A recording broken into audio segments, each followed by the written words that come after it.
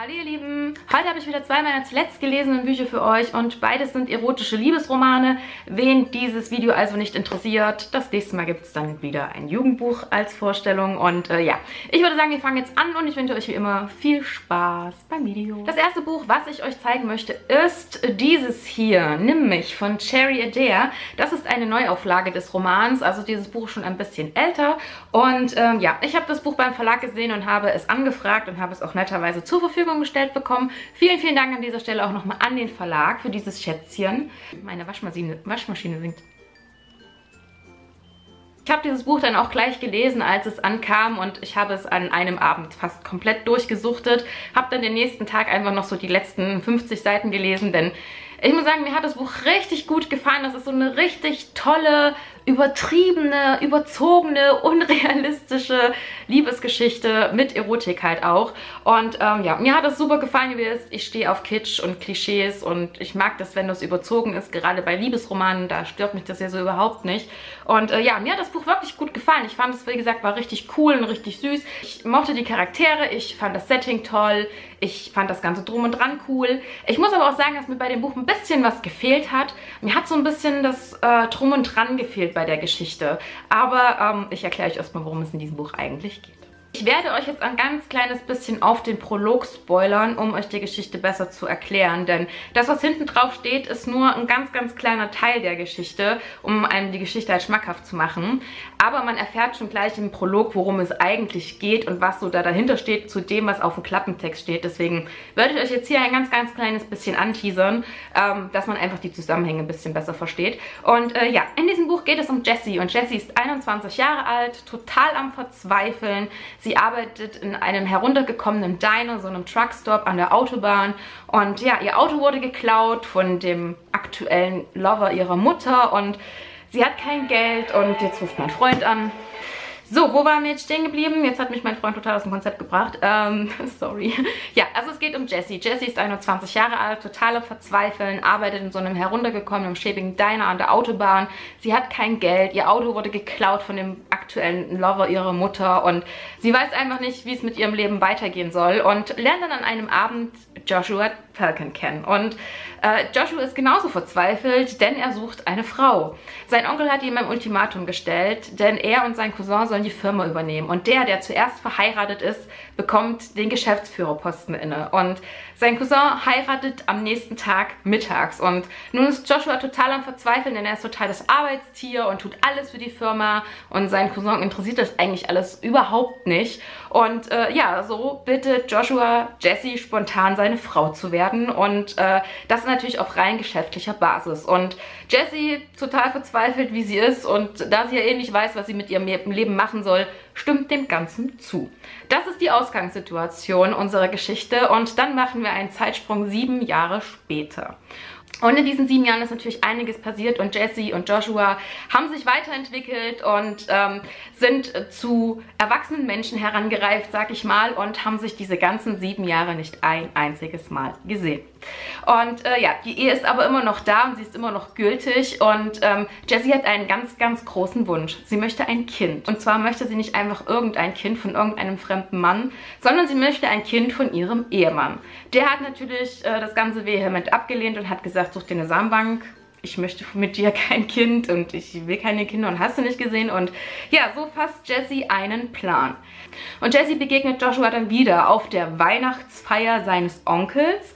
Und ähm, sein Onkel weiß, wer Jessie ist. Und er hat halt auch all die Jahre sich um sie mit gekümmert und Kontakt zu ihr gehalten und hat für sie gesorgt, dass sie halt auch ihren Abschluss nachholen konnte, dass sie studieren konnte. Und hat sich halt so ein bisschen halt auch als Familie um sie gekümmert, denn Jessie ist halt alleine. Und ähm, ja, nun treffen die beiden nach sieben Jahren aufeinander und Joshua hat keine Ahnung, wer sie ist. Und wie gesagt, Jessie hat einen Plan, sie möchte ein Kind. Und so versucht sie ihren Ehemann zu verführen, der absolut ahnungslos ist. Und ob das am Ende alles so gut ist, was sie sich da ausgedacht hat und ob ihr Plan Erfolg hat und ob das am Ende vielleicht nicht doch alles rauskommt, das ist es, worum es in diesem Buch schlussendlich geht. Ich kann nur sagen, dass die Handlung mir richtig, richtig gut gefallen hat. Ich äh, mochte den Verlauf der Geschichte, ich mochte die Handlung, ich fand die Charaktere ganz, ganz toll. Also ich mochte Jessie als Protagonistin in diesem Buch total. Sie war mir ultra sympathisch und man hat, man hat halt auch gut ihre Weiterentwicklung gemerkt und dieses, äh, diese Schritte, die sie gemacht hat in diesen sieben Jahren. Und ähm, Jessie ist einfach eine ganz, ganz tolle Person und ähm, sie war mir sehr sympathisch und ich fand, sie hat die Geschichte super getragen und das war einfach alles so ganz, ganz toll und ich konnte das bei ihr alles so gut nachvollziehen und ich konnte es verstehen und ich konnte auch gerade am Ende das alles verstehen, wo das, wie das dann alles ausgegangen ist und das hat mir ultra gut gefallen. Also wie gesagt, tolle Handlung, tolle Protagonistin. Was Joshua angeht, fand ich ihn auch richtig gut. Er hat mich so ein bisschen an Christian Grey erinnert. Ne? Also dieser, dieser Mann mit so ein bisschen einem Schaden aus seiner Kindheit. Er steht jetzt zwar nicht auf Auspeitschen und so ein Scheiß, aber so vom Charakterzug hat er mich schon so ein bisschen an, an Christian Grey erinnert. Auch mit dieser Sache mit der Geliebten und diesen nicht länger als ein Jahr. Und ja, ich kann nur sagen, dass Joshua, dieser Name ist echt schwer auszusprechen, mir im Großen und Ganzen auch gut gefallen hat. Ich mochte auch die Nebencharaktere, die aber hier wirklich nur so am Rand so mit eine Rolle spielen. Also es geht in dieser Geschichte wirklich vordergründig um die beiden und um die Beziehung der beiden, was ich ein bisschen schade finde. Ich hätte mir gerne bei der Geschichte so ein bisschen mehr drumherum gewünscht, denn man hat die ganze Zeit das Gefühl, Jessie hat keine Freunde, die, die arbeitet nur und hat halt nur ihre zwei Chefs, mit denen sie ähm, da halt so verkehrt. Diese zwei Chefs sind wiederum mit Joshua verwandt. Und ähm, ja, man hat halt das Gefühl, sie hat eigentlich kein soziales Umfeld. Was sie aber eigentlich hat, was man aus Nebensätzen dann immer so ein bisschen erfährt. Und ähm, ich fand das auch ein bisschen unglaubwürdig, was, was ihre Arbeit anbelangt, denn eigentlich arbeitet sie Vollzeit als Innenarchitektin und dann von jetzt auf gleich hört sie einfach mal auf zu arbeiten. Kein Thema. Kann jeder Mensch. Ich kann auch morgen zu meinem Chef gehen und sagen, oh, ich brauche mal eine Pause. Ich komme mal die nächsten zwei Monate nicht. Also das war so ein bisschen unrealistisch, extrem. Und mit sowas Ah, da hätten so zwei Sätze in dem Buch vielleicht einfach gereicht, so, dass sie ihr aktuelles Projekt abgeschlossen hat und jetzt halt kein neues Projekt annehmen möchte. Und aber nein, also sie hat gearbeitet die ganze Zeit und auf einmal kam Sprung und sie hat nicht mehr gearbeitet und das war halt so ein bisschen merkwürdig. Also wie gesagt, das Buch ist halt unrealistisch und man darf das alles nicht so ernst nehmen in dieser Geschichte. Aber im Großen und Ganzen, wie gesagt, fand ich das schon alles sehr süß, wie das abgelaufen ist. Ähm, ja, also wie gesagt, ich hätte mir gern so ein bisschen mehr soziales Umfeld für Jessie gewünscht. Und ähm, das hätte das Ganze für mich irgendwie greifbarer gemacht, wenn sie vielleicht noch eine Freundin gehabt hätte oder irgendwas. Aber sie war halt die ganze Zeit ganz alleine und hatte da, wie gesagt, halt nur ihre zwei Chefs. Das war ein bisschen traurig. Das war irgendwie echt traurig. Naja, auf jeden Fall ähm, gibt es halt zu den Nebencharakteren nicht viel zu sagen, weil es nicht viele gab und wenn es sie gab, waren die halt für die Geschichte jetzt auch nicht extrem wichtig. Also vielleicht der Onkel am Ende, aber ansonsten hat es halt nicht wirklich eine Rolle gespielt. Ähm, was das Setting betraf, wir befinden uns hier in San Francisco. Ich liebe San Francisco als Setting. Ich möchte irgendwann in meinem Leben auch mal nach San Francisco. Ach ja, ich hatte es ja bei der Diamonds Full of Frei schon gesagt, dass ich dieses Setting ultra liebe. Und auch in dem Buch hat mir das Ganze richtig gut gefallen, wie das auch alles beschrieben wurde und auch dieses Drum und Dran und auch ähm, wo beschrieben wurde, wie die Häuser aussehen, weil Jessie ist ja Innenarchitektin und ja, das hat mir schon sehr, sehr gut gefallen. Also so im Großen und Ganzen, was das Setting betrifft, ähm, konnte ich mir das gut vorstellen und hat äh, mir sehr, sehr gut gefallen. Was den Schreibstil von, was den Schreibstil von Cherry Adair betrifft, kann ich auch nur sagen, dass das so ein lockerer, leichter, erotischer Schreibstil ist, ähm, super gut zu, der super gut zur Geschichte passt. Man liest hier aus den Sichten von beiden, also einmal von ähm, Jessie und von Joshua. Ähm, und die Kapitel und die Sichtweisenwechsel sind im Kapitel. Also ähm, ich habe damit ja keine Probleme, ich kenne das ja auch schon von Nalini Singen, aber es gibt ja Leute, die mit sowas Schwierigkeiten haben, wenn dann so mitten im Kapitel so nach einem Satz, Punkt, Bub, spricht auf einmal der andere. Ähm, ich weiß, dass es Leute gibt, die damit Probleme haben, deswegen erwähne ich es an dieser Stelle, aber mich hat es persönlich so überhaupt nicht gestört. Ich fand es gut gemacht und ähm, man hat auch jetzt nicht überlegt, aus wessen Sichtweise man jetzt liest. Also es war immer klar, ich lese jetzt ihn oder ich lese jetzt sie. Ähm, das Buch ist auch aus der Ich-Perspektive geschrieben.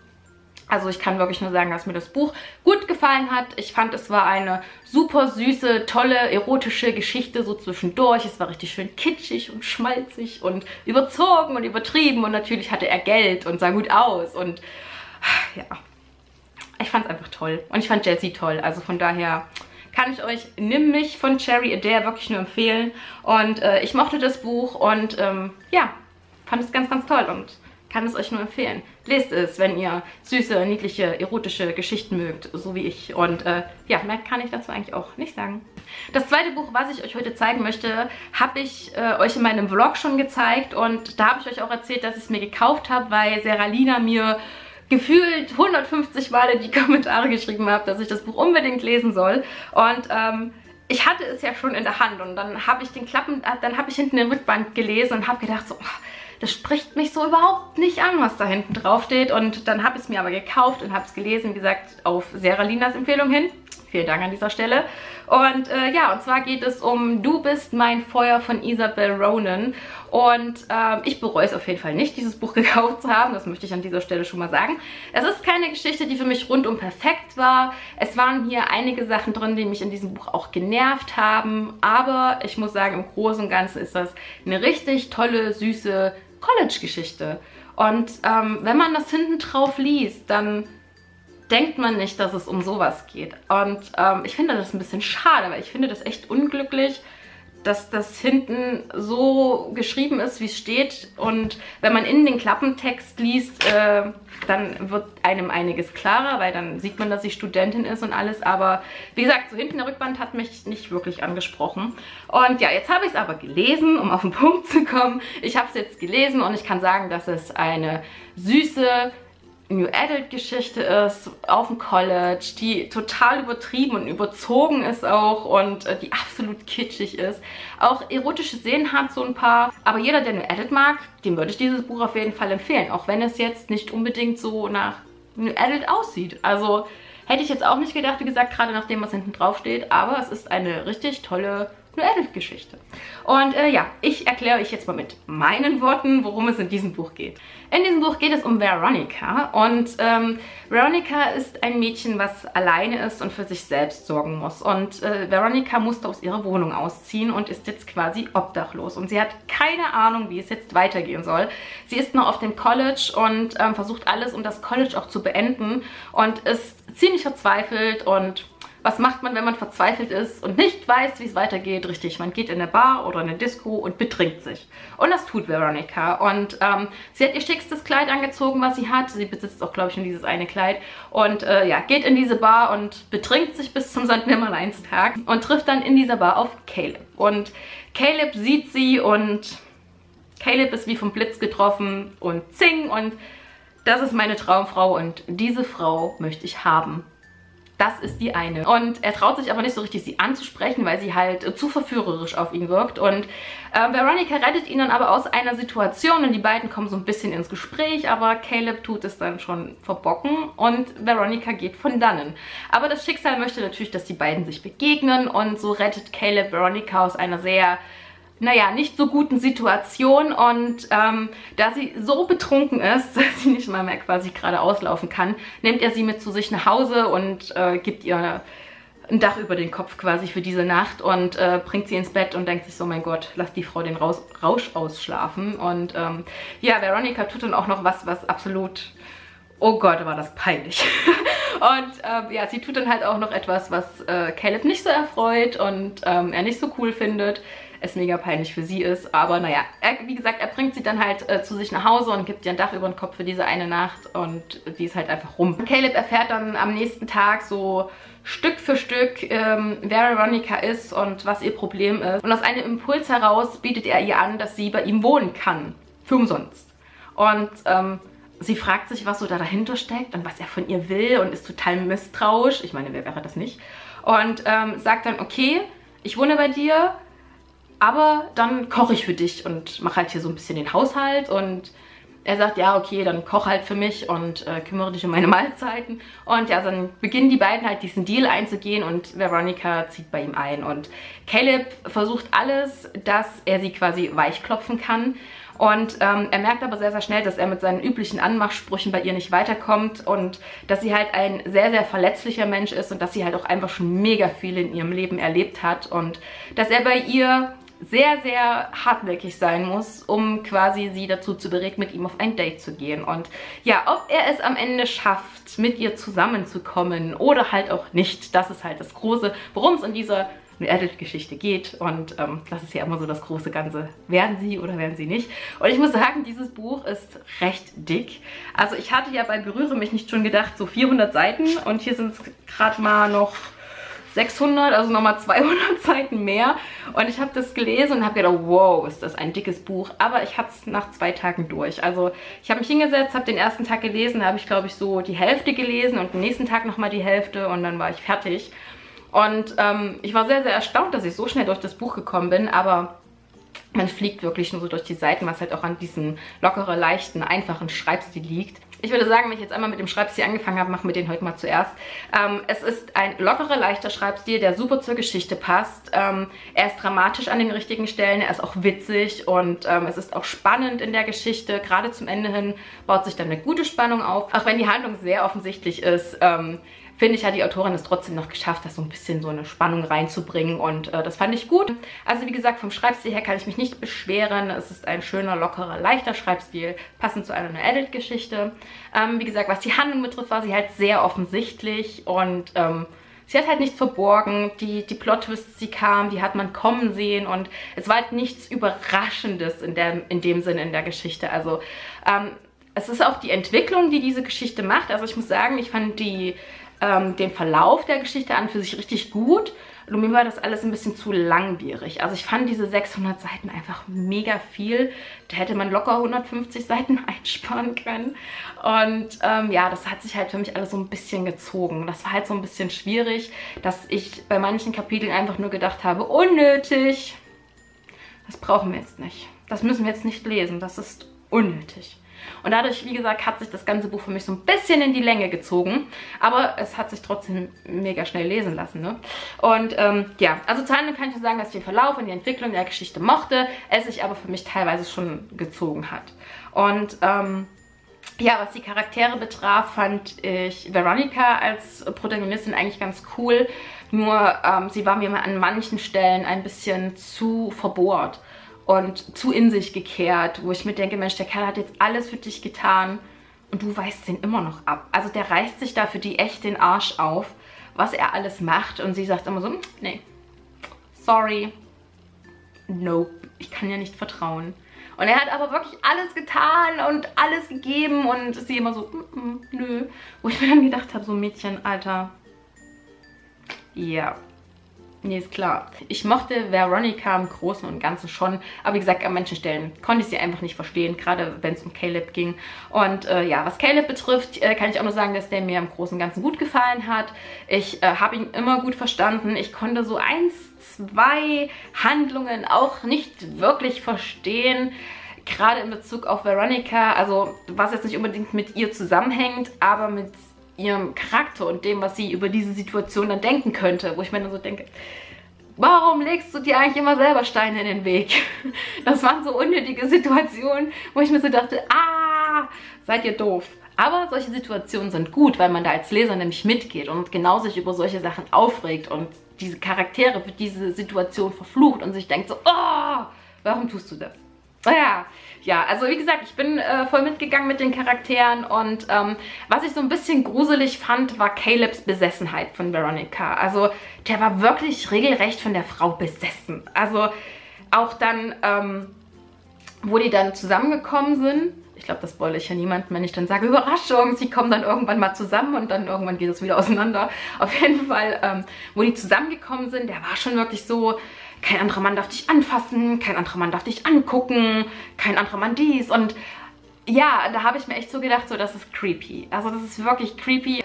Diese Obsession, die er einfach für sie entwickelt hat, die war für mich einfach so ein bisschen zu viel. Das hätte man ein bisschen rausnehmen können. Wäre das für mich so glaubwürdig gewesen. Ich meine, wir wissen alle, dass äh, solche Geschichten total überzogen sind und unglaubwürdig und unrealistisch. Also ganz ehrlich, wer glaubt, New Edit-Geschichten sind real und total dem Leben nachempfunden, der glaubt wahrscheinlich auch, dass es Glitzervampire gibt. Also deswegen finde ich das jetzt nicht schlimm, weil man ja eigentlich weiß, dass es nicht real ist, aber es hätte mir so ein bisschen Realismus mehr in die Richtung, hätte mir das schon gefallen. Das war ein bisschen zu viel des Guten. Äh, ansonsten, was die Nebencharaktere betraf, fand ich im Großen und Ganzen auch gut.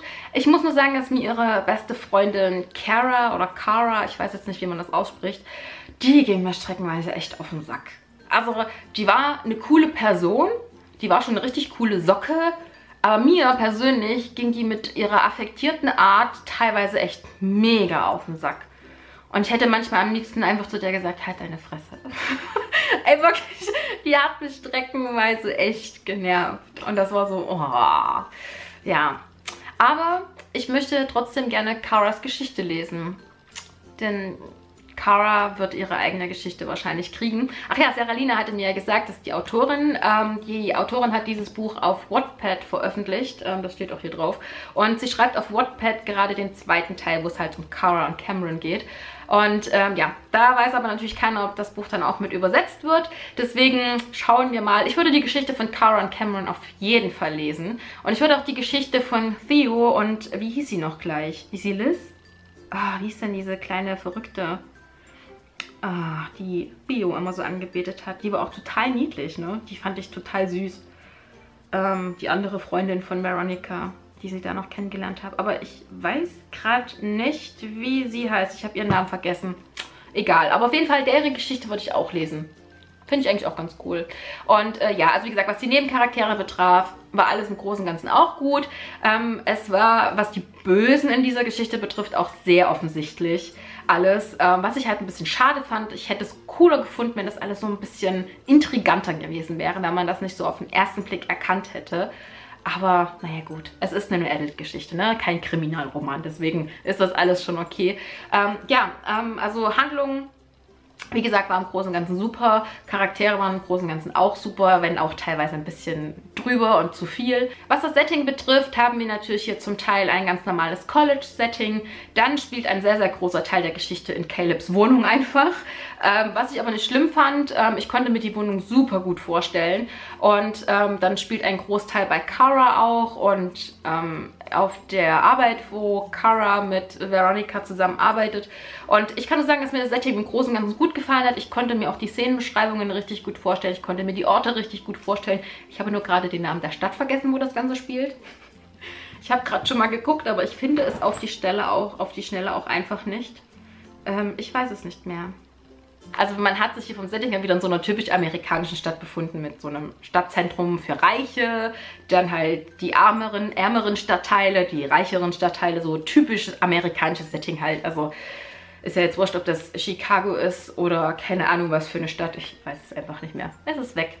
Tata. Mein Fazit zu der Geschichte ist, dass es eine süße New Edit Geschichte ist, dass es was ganz anderes ist, wie das, was ich erwartet habe und ähm, ich mochte die Geschichte einfach. Auch, wie gesagt, wenn sie mir teilweise zu langatmig war und ähm, sich teilweise zu langsam entwickelt hat und oh, was mir auch auf den Keks ging, ne, wo die dann endlich zusammengekommen sind. Ich glaube, das war so nach 450 Seiten sind die dann irgendwann mal zusammengekommen. Ich glaube so, ja, da ungefähr so. Also so viel hatte ich gelesen so und dann sind die zusammengekommen und ähm, man hat eigentlich ja die ganze Zeit darauf gewartet, dass sie zusammenkommen und dachte so, jetzt, jetzt und dann so, da, nein, wieder nicht. Und dann so, jetzt, jetzt, jetzt und dann so, na, nein, wieder nicht. Und das war so, na. Aber deswegen bleibt man dran an der Geschichte. Was ich aber eigentlich sagen will, was mir noch so ein bisschen auf den Keks ging, auf gut Deutsch, waren diese Liebesschwüre dann, wo die endlich zusammen waren, ne?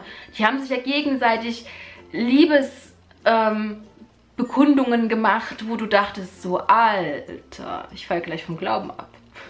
Meine Fresse, schreibt ihr gerade schon euer Ehegelübde oder was ist das hier? Ey, das war wirklich so ein bisschen zu viel des Guten für mich. Also, ich meine, dass, die, dass man vermitteln möchte dann, dass die beiden sich lieben, okay. Und dass man dann auch mal schöne romantische Dinge sagt, okay. Aber, uh, das war mir echt ein bisschen zu viel dann. Das ging mir so ein bisschen auf den Sack, aber na gut. So ist das halt. Man darf auch mal genervt sein von Sachen in Büchern. Was ich vielleicht noch sagen könnte, ist, dass mir das Ende gut gefallen hat. Ich fand das gut, dass die Autorin hier so zum Ende hin noch so eine, so eine kleine Intrige eingebaut hat und so eine kleine Verschwörung gegen die beiden. Und ähm, ja, das hat das Ganze nochmal so ein bisschen spannender gemacht zum Ende hin. Und äh, ja, Ende hat mir auch gut gefallen. Also da kann ich nicht meckern. Also im Großen und Ganzen kann ich nur sagen, dass mir Du bist mein Feuer gut gefallen hat, auch wenn es eine Geschichte ist, die mich streckenweise echt aufgeregt hat und streckenweise echt genervt hat und ich streckenweise echt Charaktere manchmal hätte links und rechts gern klatschen mögen. Aber es ist eine Geschichte, an der ich dran geblieben bin auf jeden Fall und die mich total interessiert hat, wie sie jetzt weitergeht. Ne? Das ist so ein, das ist jetzt, würde ich nicht sagen, so ein Liebe-Hass-Buch, sondern das ist so ein, so, ein, so ein Buch, wo man einfach wissen will, wie es weitergeht dann, obwohl man streckenweise einfach genervt ist. Kennt, kennt ihr das? Versteht ihr, was ich meine? Ich glaube, ihr versteht, was ich meine. Naja, mehr gibt es zu Du bist mein Freund eigentlich auch nicht zu sagen, außer wer College-Geschichten mag, sollte es sich auf jeden Fall an. Das waren zwei meiner zuletzt gelesenen Bücher. Wie immer gilt, wenn ihr die Bücher kennt und schon gelesen habt, schreibt mir eure Meinung gerne unten in die Kommentare. Ich freue mich drauf. Ansonsten bedanke ich mich wie immer fürs Gucken, wünsche euch noch eine schöne Woche. Bis zum nächsten Mal. Macht's gut. Tschüss.